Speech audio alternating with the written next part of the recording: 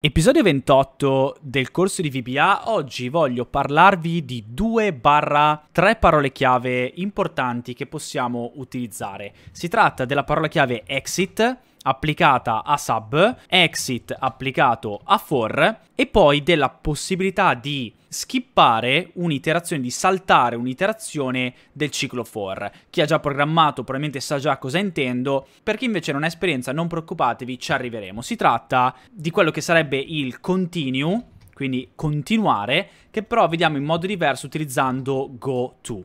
Quindi go to vuol dire vai a, va bene? Quindi queste sono le due parole chiavi, exit e go to, però vedete che sono due applicazioni diverse per exit e poi go to. Allora, cominciamo innanzitutto molto semplicemente dal exit sub. Se avete visto abbiamo qua sub, and sub. Che cosa sarà mai exit sub? Exit innanzitutto vuol dire uscire. Di conseguenza, se io dico esci sub, sto dicendo non mi interessa quello che succede dopo, tu esci a prescindere. Vi faccio vedere. Allora, innanzitutto andiamo a creare un bel eh, debug.print e io scrivo ciao, vado di F5 e vedete che ho ciao. Il discorso è che se io vado a mettere davanti a questa riga exit sub e vado a fare F5, vedete che non succede niente. Per dimostrarvi che sta effettivamente funzionando, prima di exit sub io scrivo qualcos'altro, F5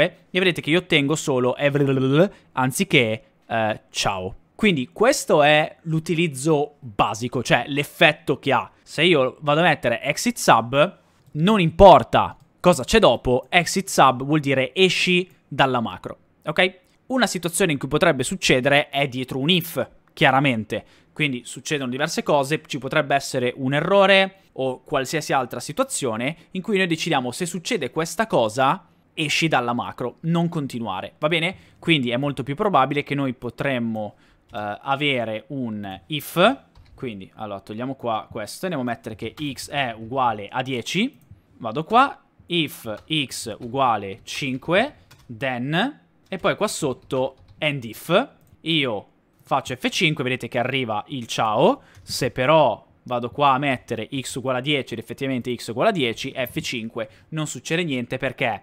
Perché chiaramente if uguale a 10 sì, exit sub e non ci arriva nemmeno qua a ciao. Quindi questo è il modo più becero e basico per spiegarvi exit sub.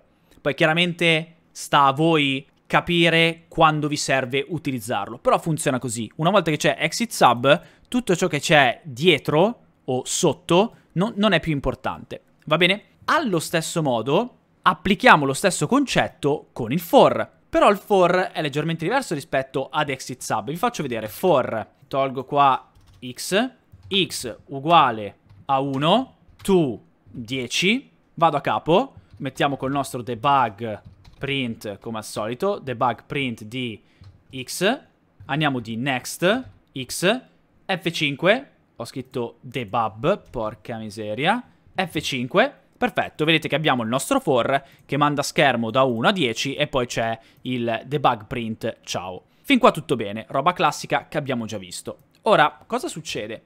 Se io vado a mettere in questo for un exit for e faccio F5, vedete che ottengo solo ciao. Perché? Chiaramente perché in questo caso, che cosa ho fatto? Già alla prima iterazione ho fatto exit for, quindi è arrivato x uguale a 1, exit for, è uscito, non ha fatto neanche il debug print, non ha fatto next, mi ha messo solo ciao. La differenza sostanziale con exit sub ed exit for è che exit for esce esclusivamente dal for. Quindi se noi diciamo exit for, esci dal ciclo for, non uscire da exit sub.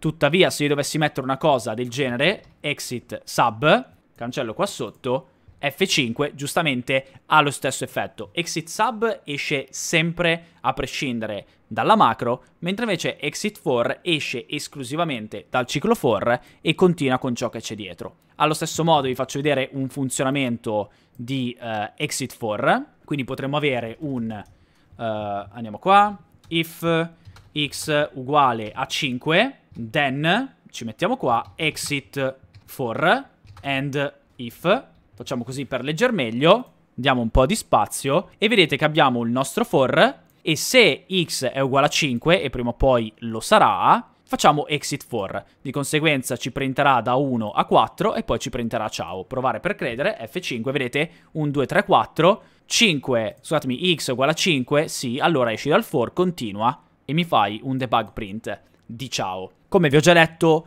tutti questi concetti li potete mischiare, quindi if, for, eccetera, eccetera, non è assolutamente un problema.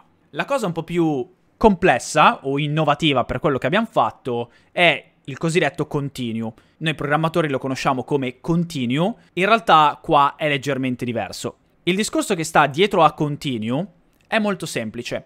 Pensate che x è uguale a 5, giusto? Ma anziché x uguale a 5 uscire dal for, io voglio semplicemente saltarlo. Ok? Quindi pensate a una situazione in cui potremmo avere un for in cui passiamo in rassegna a delle righe. Se la cella è vuota, non ha alcun valore, saltala, ad esempio. Non, non formattarla, non fare niente. Allo stesso modo, potremmo dire che se x è uguale a 5, devi semplicemente saltarla. Non mi devi uscire da tutto il ciclo. Vedete che qua arriva fino a 4 e non va oltre. Quello che vogliamo fare noi è, se trovi 5, o in una situazione più realistica, se trovi una cella vuota, saltala. Quindi fai 1, 2, 3, 4, 6, 7, 8, 9, 10. Va bene? Questo è il risultato a cui vogliamo ambire.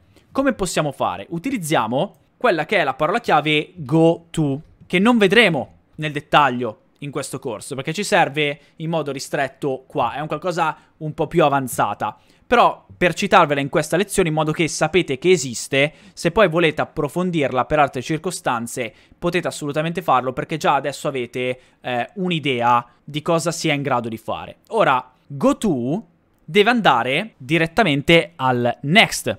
Quindi io vado qua e faccio GoTo next. Vedete che mi dà rosso? Non posso farlo quindi devo andare, anzi provo con F5, vedete mi dà un errore di sintassi. Il mio obiettivo è dire go to, go to vuol dire vai a, e noi vogliamo indicare di andare qui, a next. Ma scritta così, il programma non è in grado di capirlo. Quindi cosa facciamo? Andiamo a creare un costrutto nuovo, andiamo a dare quella che è una label, un'etichetta ad una riga. Vi faccio vedere. Questo next, noi ci mettiamo qua davanti e scriviamo next line.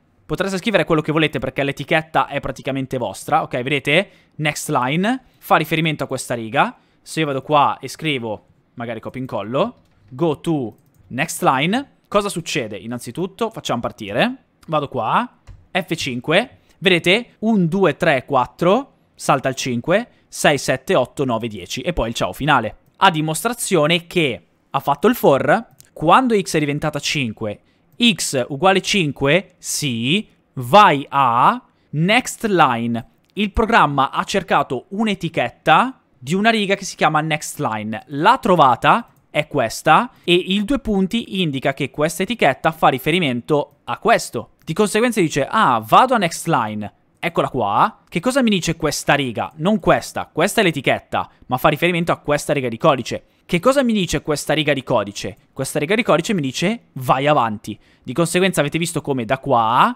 ho saltato questa parte, sono andato direttamente qui, ho fatto un incremento e quindi il 5 si è perso nell'etere e abbiamo avuto la possibilità di continuare il nostro ciclo. Va bene? È un metodo per chi programma eh, leggermente diverso rispetto a ciò che potreste essere abituati ad usare nella maggior parte dei linguaggi di programmazione, però non è neanche così confusionario, è solo un pelino più lungo a ciò a cui siamo abituati rispetto al continuo, però diciamo che per le persone che arrivano per la prima volta su un linguaggio di programmazione può essere sicuramente qualcosa di intuitivo, perché alla fine il programma va dall'alto al basso, col for fa tac, poi ricomincia dall'alto e scende, poi ricomincia dall'alto e scende, io ti dico vai a che riga? A questa riga, la esegue e riparte da capo. Sicuramente ha una sua logica, altrimenti non sarebbe stato inserito. Comunque, questo è il discorso. Abbiamo visto exit sub, exit for e go to per andare avanti nel ciclo.